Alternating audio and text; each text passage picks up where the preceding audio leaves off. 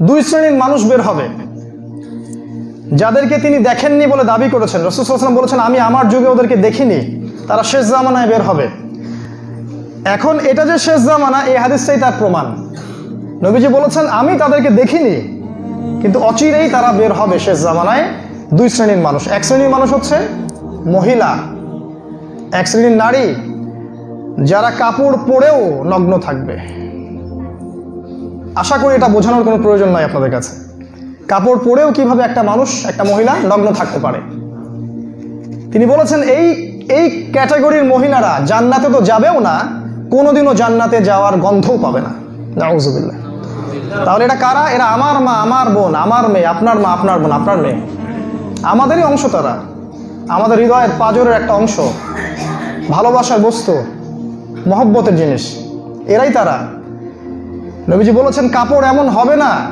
মেয়েদের কথা বলছি, কাপড় এমন হবে না যেই কাপড়টা এত আটোসাটো যে শরীরের কাঠামো, অঙ্গ প্রত্যঙ্গ বোঝা যায়। হোক, সেটা বোরখা। এমন বোরখাও পরানো যায়। তিনি আরও বলেছেন, কাপড়টা এমন হবে না যে কাপড়টা পরলে বাহির থেকে ভিতরের অংশ দেখা যায়। কাপড়টা এত চক, চাকচিক্যময় হবে না যেটা দেখলে চোখ লাগে এবং কাপড়টা মুশ্রেকদের মতো যেন না হয়। এই এই বেসিক জিনিসগুলো মেনে কয়জন মা বোন পর্দা করছি আমরা?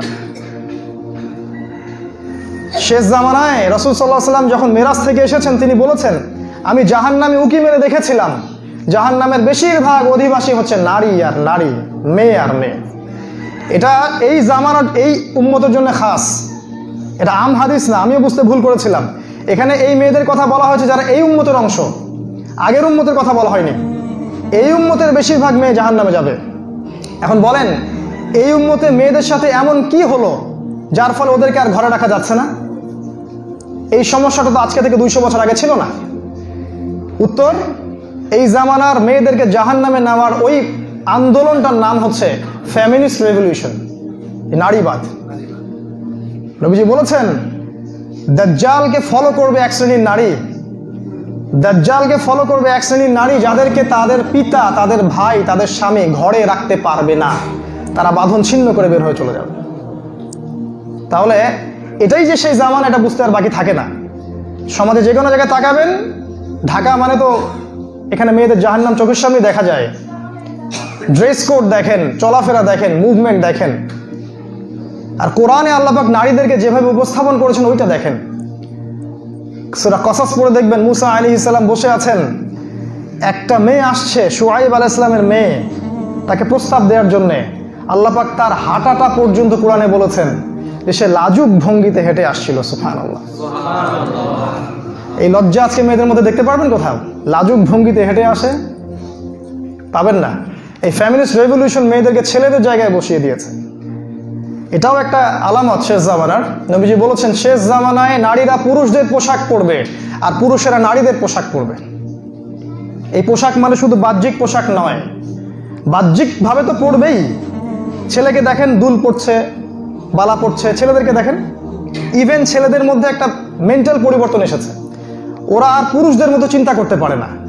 পুরুষের মতো ইমানি জাজবা, শারীরিক শক্তি, মানসিক শক্তি, ভেঙে পড়লে আবার উঠে দাঁড়িয়ে পথ চলা, এগুলো ছেলেদের মধ্যে আর পাবেন না খুঁজে।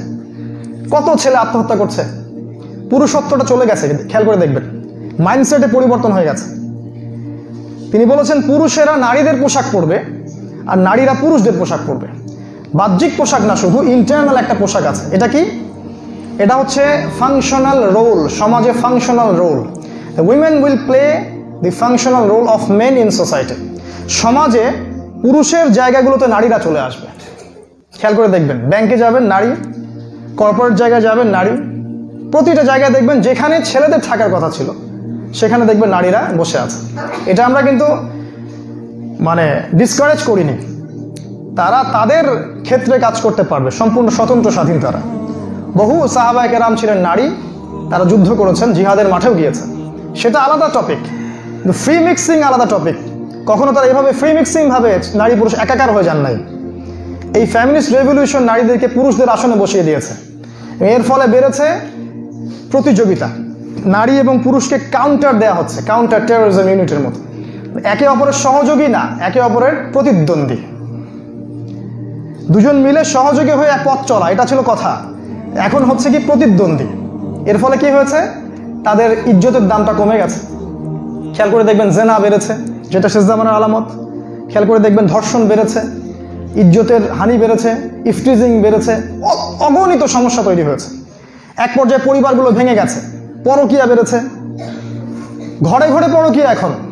আমার একটা বন্ধু আমাকে বলেছিল যে তুই জানিস কিনা জানি না, এখন ঘরে ঘরে পরকিয়া আমি ওই কথাটাকে গুরুত্ব দেইনি।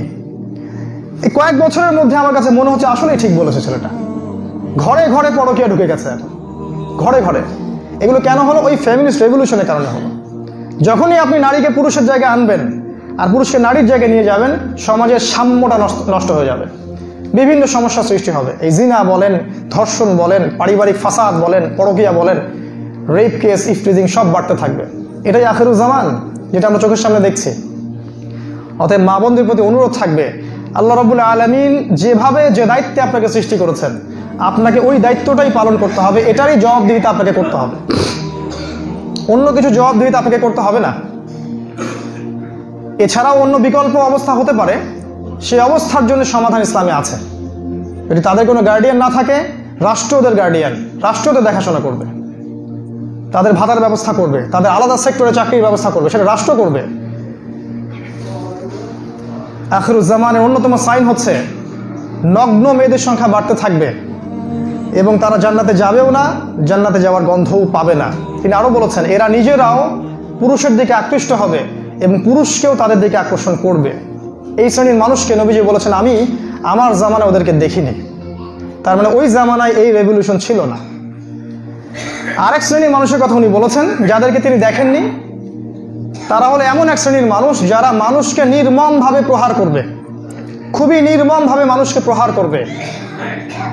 আজকে আমাদের পুরো বিশ্ব জুড়ে এই যে ফাসাদ, এই যে শ্বেত সন্ত্রাস এবং অঘোষিত ক্রুসেড, এগুলো দেখলে বুঝতে পারি যে এরা মানুষকে কত নির্মমভাবে প্রহার করে। আবু গারিবের মতো কারাগারগুলোতে যদি খোঁজ খবর রাখেন, দেখবেন ওই চাইনিজ উইঘুরদের কথাই বলেন না, রোহিঙ্গাদের কথাই বলেন, সিরিয়ার কথাই বলেন, আফগানিস্তান, লেবানন, প্যালেস্টাইন, জর্ডান, প্রতিটা জায়গায় দেখবেন নির্মমভাবে মানুষকে মারা হচ্ছে, নির্মমভাবে। ছোট ছোট বাচ্চাগুলোকে বোম্বিং করে মেরে ফেলা হচ্ছে। এই শ্রেণির মানুষ আসবে, নবীজি বলে বলে গিয়েছিলেন যে, এদেরকে আমি দেখিনি, শেষ জামানায় বের হবে। তাদের হাতে লাঠি থাকবে। এই লাঠির অনেক অর্থ হতে পারে। লাঠি মানে অস্ত্র এখানে, অস্ত্র বোঝানো হয়েছে। এবং অস্ত্রের অবৈধ প্রয়োগ তারা করবে, মানুষকে মেরে ফেলবে। তিনি আরও বলেছেন, আখিরুজ জামানে এত বেশি হত্যাকাণ্ড হবে যে যাকে হত্যা করা হচ্ছে এ জানবে না, কেন আমাকে হত্যা করা হচ্ছে? আর যাকে যে মারবে সেও বুঝতে পারবে না, কি জন্য আমি তাকে মারছি?